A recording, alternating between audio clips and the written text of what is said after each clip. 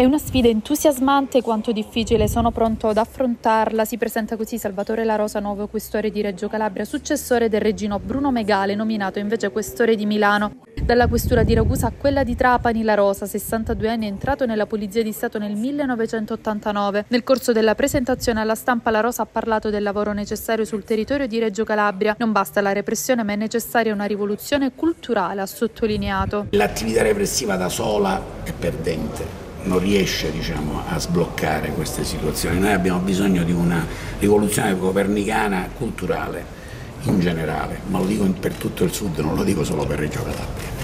E, mh, abbiamo bisogno veramente di una rivoluzione copernicana dal punto di vista culturale, quindi c'è bisogno soprattutto da parte nostra di fare il nostro lavoro di prevenzione in ambito controllo del territorio e anche il nostro contributo lì dove possiamo con per cercare di rendere diciamo, il più possibile eh, memoria di quello che è accaduto, perché come lei giustamente poc'anzi diceva, dice, non si spara più o si spara poco, giusto?